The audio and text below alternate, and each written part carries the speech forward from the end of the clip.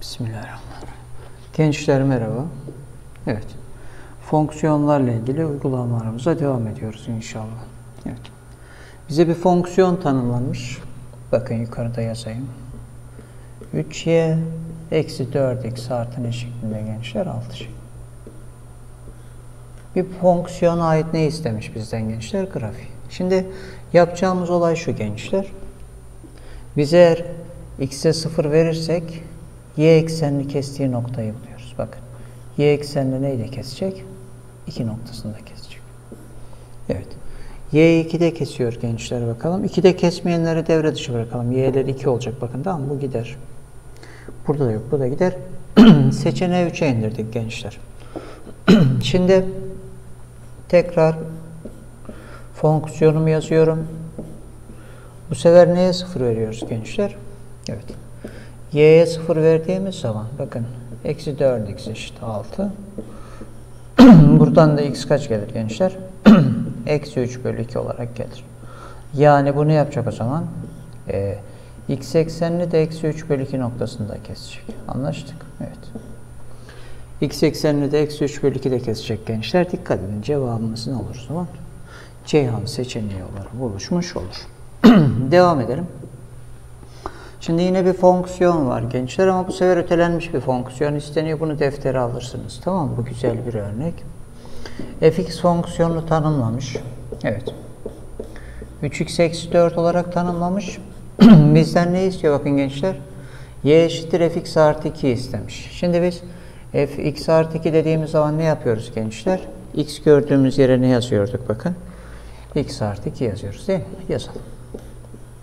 Bizden çünkü ötelenmiş bir fonksiyon grafiği istiyor. x gördüğümüz yere ne yazacağız o zaman söyleyeyim bakayım. x artı 2 yazacağız. Evet yazalım. Evet. Buradan eksi 4. Şimdi fx artı 2'yi ne olarak tanımlamış görüyor musunuz? y olarak. Buradan y eşittir diyorum gençler. 3x artı 6 4 çıkarırsak 3x artı ne kalır gençler? 2. Şimdi ne yapacağız? Bakın x'e 0 verip y eksenini kestiği noktayı buluruz demiştim. x'e 0 verdiğimiz zaman y'yi neyde keser bakın 2'de. y eksenini neyde kesecek gençler? 0,2'de. Sonra tekrar yazıyorum denklemimi. Ötelenmiş fonksiyon denklemimi. 3x artı 2 olarak yazdım gençler. Sonra burada neye 0 veriyorsunuz? y'ye 0 verdiğiniz zaman x'te ne olur gençler? Eksi 2 bölü 3 olur. Evet. Buradan da x'i neyde kesen? Eksi 2 bölü 3 noktasında kesen bir tane ne çizmemiz gerekiyor o zaman? Doğru denklemi çizmemiz gerekiyor değil mi? Bakalım şimdi. Bunu tasarlayalım beraber. Evet. Şunu da renklendireyim tekrar gençler. Daha rahat görelim. Y'yi neyde kesen gençler? 2'de şöyle çizelim. Bakın. Y eksenini neyde kesti? 2'de X eksenini de neyde kesti gençler? Eksi 2 bölü 3'te kesen bir doğru denklemi elde etmiş olduk. Anladınız değil mi? Yani biz burada x'e 0 verip y eksenini kestiği noktayı y'ye 0 verip ne eksenini kestiği noktayı, x eksenini kestiği noktayı x'e 0 verip y eksenini kestiği noktayı buluyoruz gençler. Evet. Cevabımız ne olur burada? Edirne olur. Evet, devam edelim. Şimdi bize f fonksiyonunun denklemi sorulmuş gençler. Burada yapacağınız olay şu. Size bir hatırlatma yapayım ilk önce tamam mı? Bir hatırlatma yapayım şöyle. Sonra onu uygulayalım. Bunu da deftere alabilirsiniz isterseniz. Evet. Ben hatırlatmamı yapacağım şimdi size. Evet. Doğrunun eksen parçaları cinsinden denklemi var gençler. Onun yardımıyla çözeceğiz bunu. Bakın şimdi ne yazacağız? x bölü a artı y bölü b. Toplamı neydi bakın 1. Bunu aynısını bu denklemde uygularsak gençler x'i neyde kesmiş bakın? Eksi 6'da. O zaman ne diyebiliriz bakın? x bölü eksi 6 artı y bölü ne gençler? 4. Toplamı neye eşit olacak? 1'e. Evet gördünüz. Şimdi bunu ne yapmamız istenmiş bizden? Ee, düzenlememiz istenmiş gençler. Düzenleyelim bunu. Buradan y bölü 4'ü yalnız bırakalım. Şu eksi x bölü 6'yı karşıya atalım. Artı x bölü 6 olarak atalım. Paydaş diyelim buradan gençler. y bölü 4 neye eşit olacak? 6 artı x bölü 6 olacak. Evet. Bunu biraz sade hale getirebiliriz. Şöyle bunları ikiye bölelim. 2'ye 3. Bu 2'yi de çapraz olarak karşıya atalım. Çarpan olarak değil mi? Evet. Buradan y'yi yalnız bırakacağız. Tamam mı? Buradan 12 artı 2x bölü kaç olur? 3. Soruya dikkat ederseniz f fonksiyonun denklemi diyor ya. Biz burada y'nin yerine ne yazabiliyorduk? fx yazabiliyoruz. Yani nasıl? y eşittir fx diyebiliyoruz. Bu da ne eşit olur gençler? En son düzenlememizle beraber yazarsak 2x artı 12 bölü kaç olur? 3 olarak bulunmuş olur. Cevabımız ne olur gençler bakalım. Bursa seçeneği olur. Şimdi 7'de bir parçalı fonksiyonumuz var gençler. Burada ben size bir şey hatırlatacağım. Bunu da deftere alırsınız. İlk önce bir şey hatırlatayım size. Bunları analitik geometride çok ayrıntılı öğreneceğiz Allah izin verirse. Tamam Evet. Şimdi bakın hatırlatacak olduğumuz olay ne? Orijinden geçen doğru denklemi var gençler. Tamam Onu hatırlatacağım size ben. Şimdi bu denkleme biz şöyle diyoruz. Fx eşittir mx diyoruz. Bir saniye güzel yazamadım. Bu nereden geçen denklemmiş gençler? Orijinden geçen doğru denklem. Evet. Bakın nereden geçiyor? Orijinden geçen.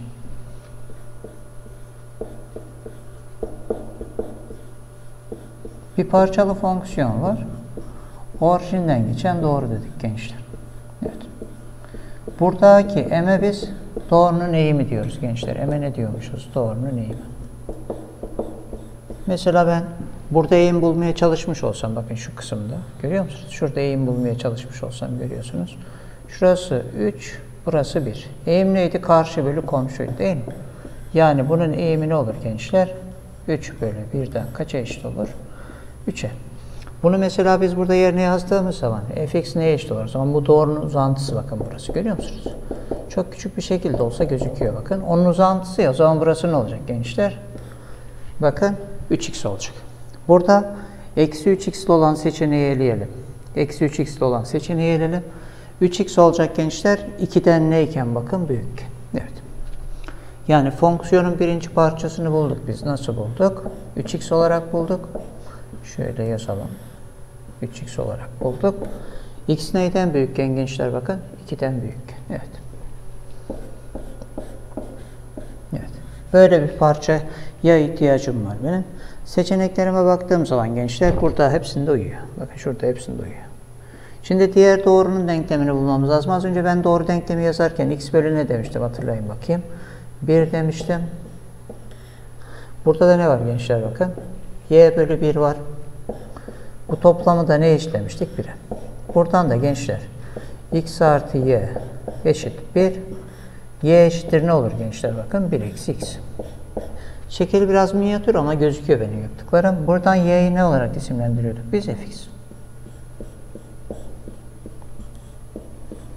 1 eksi x olacak. x 2'den neyken gençler? Küçükken bakın. 2'nin neresinde kalıyoruz? Solunda evet.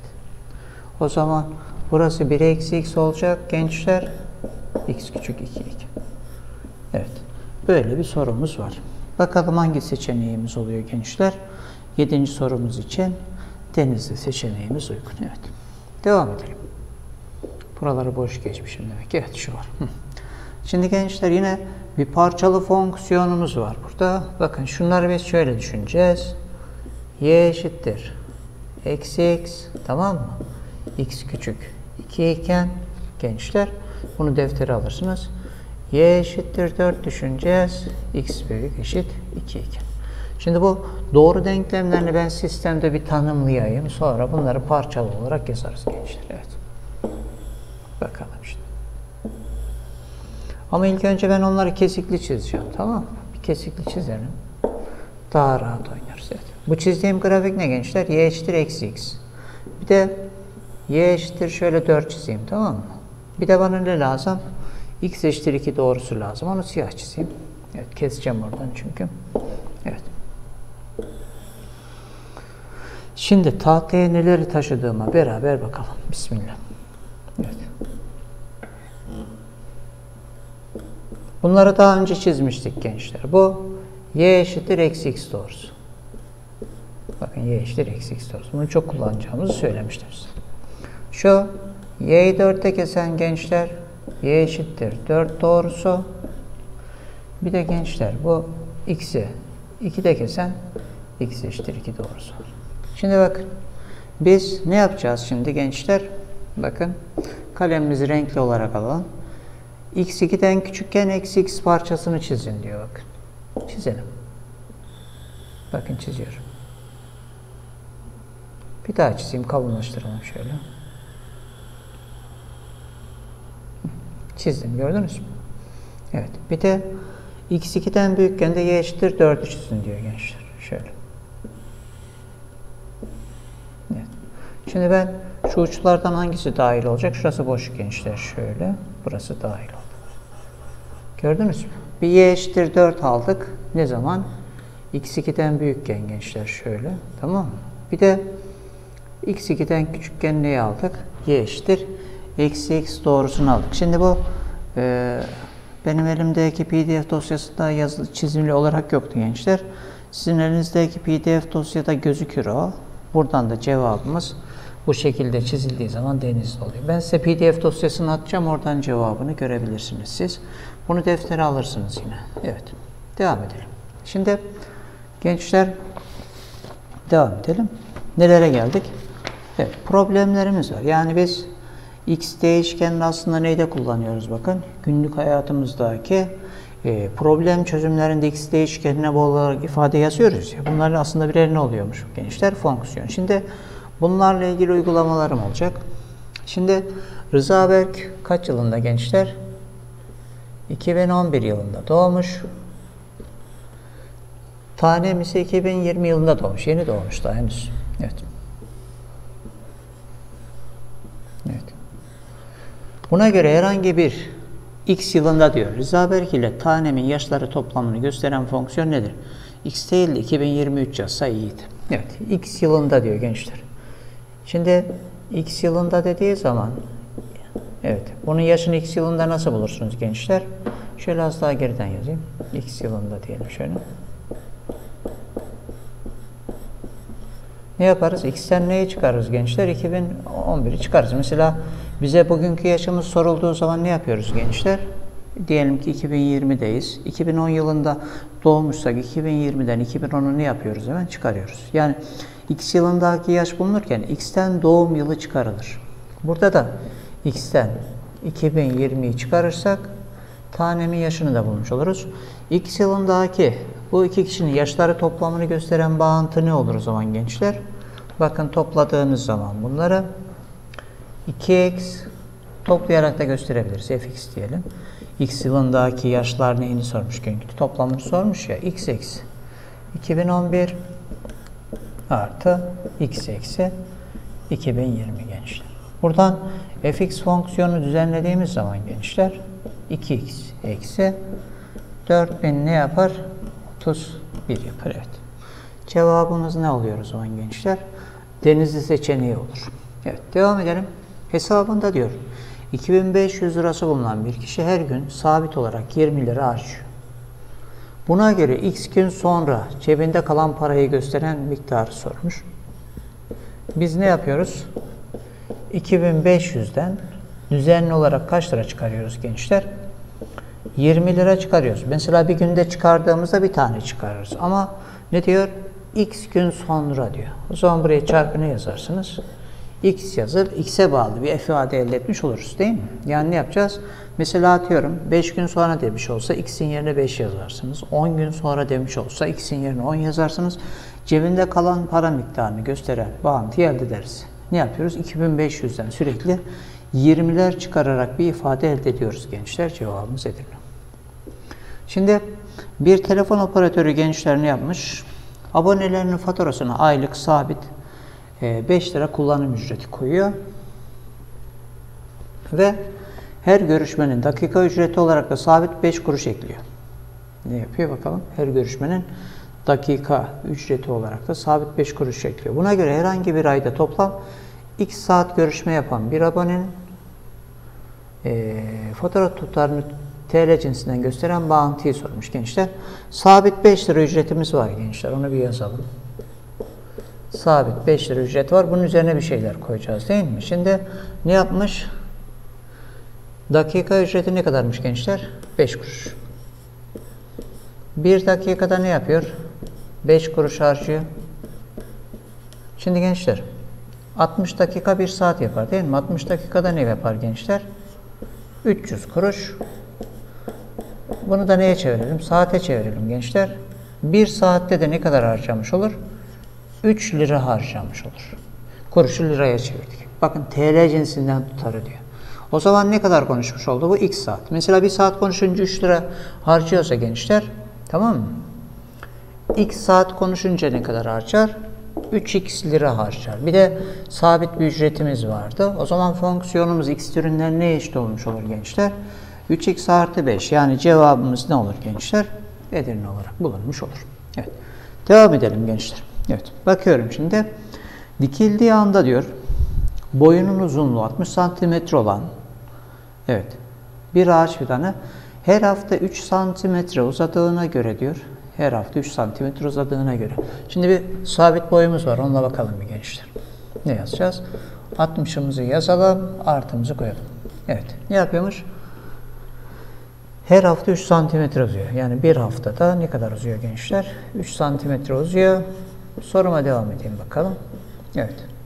Bu ağaç fidanının dikildikten x gün sonra boyunun uzunluğunu gösteren bağıntı. Bir haftada 3 santimetre uzuyorsa gençler, bir günde ne kadar uzar?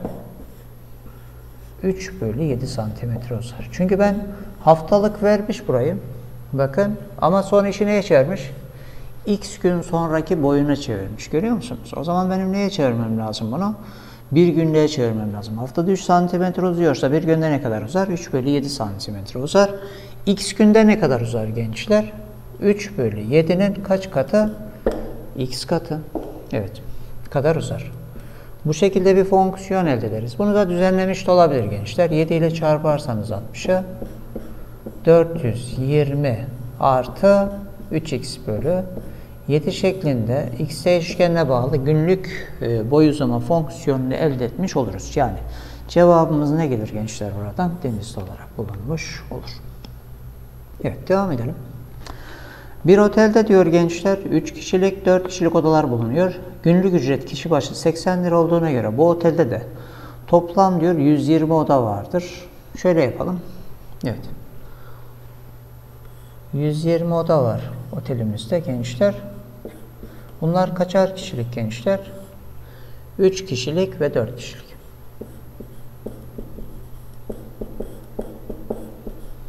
Tasarlayalım sorumuzu. Kişi başı ücretleri ne kadarmış? 80 lira. Evet. Tüm odaların tam kapasiteyle dolu olduğu bir otelde 3 kişilik odaların sayısı x'miş. 3 kişilik odaların sayısı x ise gençler 4 kişilik odaların sayısı ne olur? 120 eksi x olur. Evet. Şimdi devam edelim sorumuza.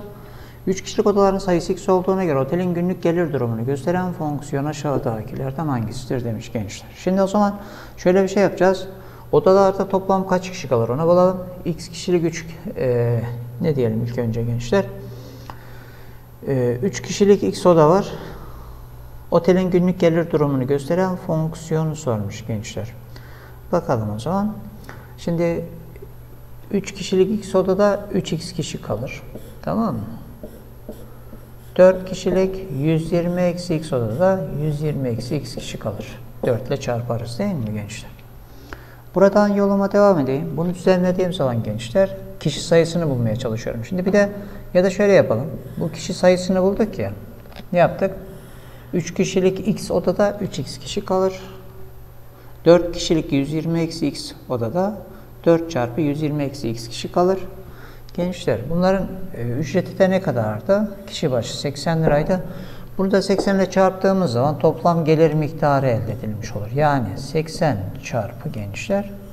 Bakalım 4 ile 120'yi çarpsak ne yapar gençler? 480 eksi x kalır şöyle tamam Buradan da 80 ile 480'i çarpacaksınız. 38.400 eksi 80x de gençler bizim bir günlük kazancımızın x fonksiyonu türünden değer olur. Bunu defter alın. Bir tane örneğimiz olsun. Evet. Bir gömlek toptancısı diyor gençler. Bakalım şimdi. Bir adet gömleğin fiyatı 100 liraya kadar ne demiş? Fiyatını 100 taneye kadar 100 lira 100 dahil demiş. Bir gömlek toptancısı bir gömlek. Adet gömleğin fiyatını gençler nasıl tasarlamış? 100 taneye kadar 100 dahil olan adımlarda 30 lira. 100'den fazla olan adımlarda ise 100 taneden sonraki her bir gömleğin fiyatını 25 lira olacak şekilde ne yapmış gençler? Belirlemiş. Evet. Buna göre bu toptancıdan x tane gömlek alan bir müşterinin ödemesi gereken tutarı gösteren neyi sormuş gençler? Evet. Ücretin x türünden değerini sormuş bize değil mi? Evet. Şimdi o zaman 100'e kadar olan kısım için 30 lira ödeyecek ya gençler 100'e kadar olan kısım için. Onlara bakayım hepsinde aynı mı? 100'e kadar 100 dahil demiş. Şunu bir silelim. Bu olmaz cevabımız. 100 dahil demişti. Oraya kadar bir gelelim. Evet. Evet. X neyse gençler 100 dahil olmak üzere 100'den küçük her bir X gömleği için ne kadar ödeyecekti bu vatandaş? 30 lira. Evet. Burayı bir görelim. Ne yaptık bakın ne diyor? Bir adet gömleğin fiyatı 100 taneye kadar 100 dahil olmak üzere 30 lira. Onu bulduk. Demiş ki yüzden fazla olan durumlarda gençler yüzden fazla olan alımlarda ise 100 taneden sonraki her bir gömleğin fiyatı ne kadar olacakmış gençler?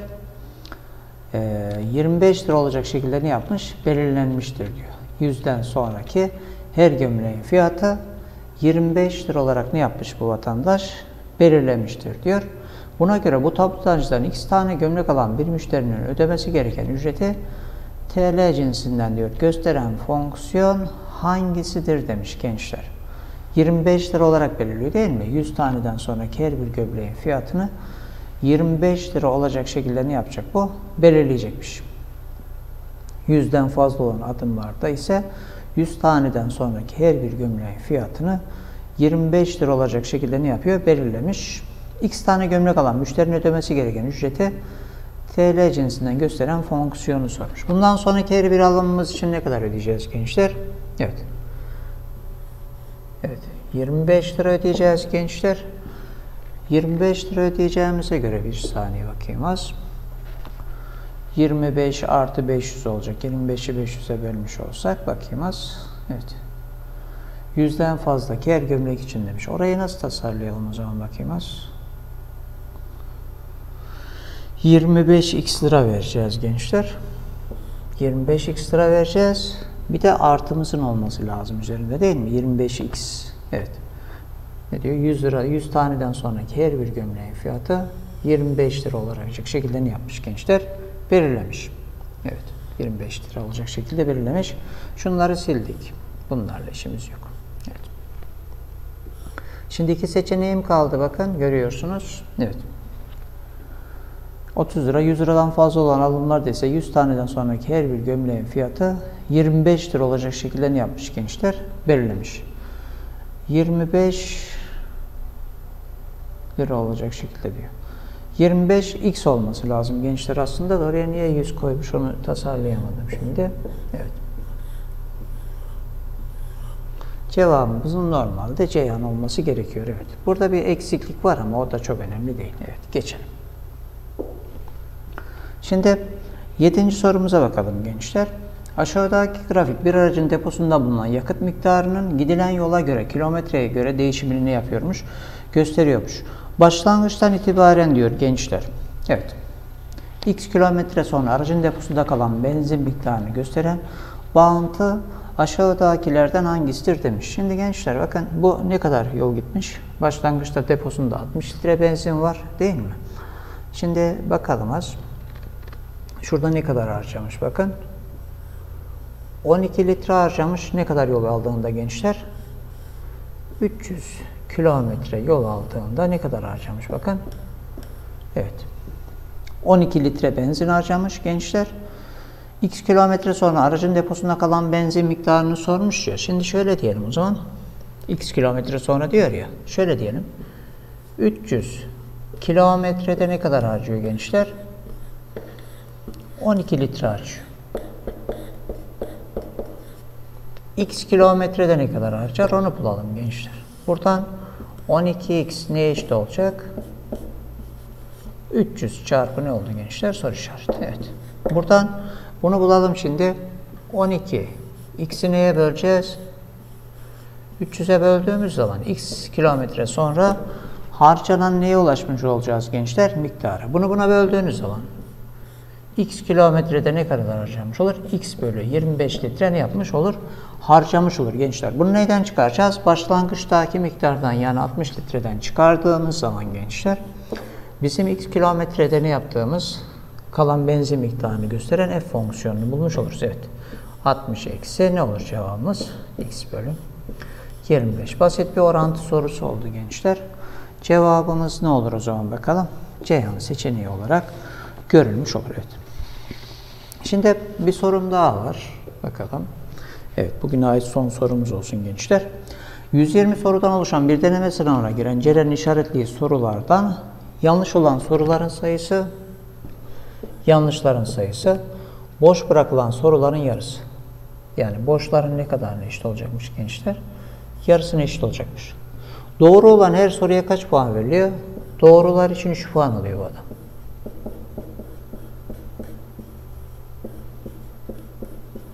Evet. Boş bırakılan soru sayısı x olan bir öğrencinin alacağı puanı gösteren bağıntı. Şimdi boşların sayısı gençler x ise tamam mı? Yanlışların sayısı bunun ne kadar olacaktı? Yarısı. Yani ne olmak zorunda? x bölü 2 tane olmak zorunda gençler. Ne demiş?